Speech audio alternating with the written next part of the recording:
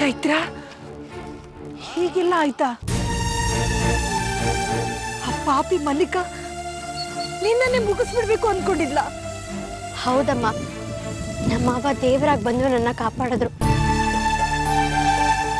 ನಾನು ಉಳ್ಕೊಂಡೆ. ಚೈತ್ರ ದೇವ್ರ ದೊಡ್ಡವನು. ನಾನು ಅಷ್ಟೆಲ್ಲ ಬೇಡ್ಕೊಂಡಿದ್ದಕ್ಕೆ ಸಾರ್ಥಕ ಆಯ್ತು. ಆ ದೇವ್ರು ನಿನ್ನನ್ನು ರಕ್ಷಿಸ್ಬಿಟ್ಟ. ಈ ಸಂತೋಷಕ್ಕೆ ನನ್ನ ಮಾತೇ ಬರ್ತಿಲ್ಲ. ಸಮಾಧಾನ ಮಾಡ್ಕೋ ಅಮ್ಮ. ನಿನ್ನ ಮಗಳು ಮೃತ್ಯುವನ್ನು ಗೆದ್ದು ಬಂದಿದ್ದಾಳೆ.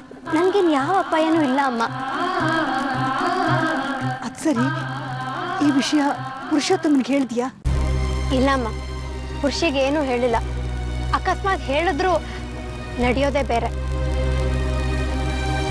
ಅವ್ರ ಚಿಕ್ಕಮ್ಮನ ವಿರುದ್ಧ ಸಾವಿರ ಆಪಾದನೆ ಮಾಡಿದ್ರು. ಅವ್ನು ನಂಬಲ್ಲ. ಚಿಕ್ಕಮ್ಮನೇ ಸರಿ ಅಂತಾನೆ. ಅದ್ರ ತಕ್ಕಾಗಿ ಅತ್ತೆನೂ ಚೆನ್ನಾಗಿ ಡ್ರಾಮಾ ಮಾಡಿ ಅವ್ನ ದಾರಿ ತಪ್ಪಿಸ್ತಾರೆ. ಅದಕ್ಕೆ ಅಮ್ಮ ಈ ಸಾರಿ ಅವ್ರ ವಿರುದ್ಧ ಸಾಕ್ಷಿ ಆಧಾರಗಳ ಸಮೇತ ಹೋಗಿ ಅವ್ರಿಗೆ ಬುದ್ಧಿ ಕಳಿಸ್ಬೇಕು ಅನ್ನೋದು ನನ್ನ ಉದ್ದೇಶ. ಚೈತ್ರ! ಆ ಕಾರಣಕ್ಕೆ ಸುಮ್ಮನಾಗಿದ್ದೀನಿ ಈ ಅಜ್ಞಾತವಾಸನ ಮಾಡ್ತಿದ್ದೀನಿ. ಬಿಡ್ಬಾರ್ದು ಅವಳ ಅವಳ ಜೈಲಿಗೆ ಹಾಕಿಸ್ಬೇಕು. ಸರಿಯಾದ ಶಿಕ್ಷೆ ಕೊಡಿಸ್ಬೇಕು ಅವಳಿಗೆ. ಇಲ್ಲ ಅಮ್ಮ ಅತ್ತೆನ ಜೈಲಿಗೆ ಕಳಿಸ್ಬೇಕು. ಅವ್ರಿಗೆ ಶಿಕ್ಷೆ ಕೊಡಿಸ್ಬೇಕು ಅನ್ನೋದು ನನ್ನ ಆಸೆ ಅಲ್ಲ. ಅವ್ರು ಮಾಡಿದ ತಪ್ಪು ಅಂತ ಅವ್ರಿಗೆ ತೋರಿಸ್ಬೇಕು ಅನ್ನೋದು ಅಷ್ಟೇ ನನ್ನ ಉದ್ದೇಶ. ಖಂಡಿತ ಅರ್ಥ ಮಾಡಿಸ್ತೀನಮ್ಮ.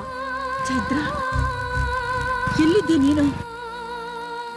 ನಾನೀಗ ನಮ್ಮ ಮಾವನ ಮನೇಲಿದ್ದೀನಿ ಅಮ್ಮ ಸೂಕ್ತವಾದ ಸಂದರ್ಭ ಬಂದಾಗ ಅಲ್ಲಿಂದ ಆಚೆ ಬಂದು ಮನೆಗೆ ಹೋಗ್ತೇನೆ. ಅಲ್ಲಿವರೆಗೂ ಯಜ್ಞಾತವಾಸ ಅಜ್ಞಾತವಾಸ ಮುಂದುವರಿಯುತ್ತೆ ಅಮ್ಮ. ಚೈತ್ರ ಏನಮ್ಮ ನಿನ್ಕೋಳು ಏನ್ ನಿನ್ ಪರಿಸ್ಥಿತಿ?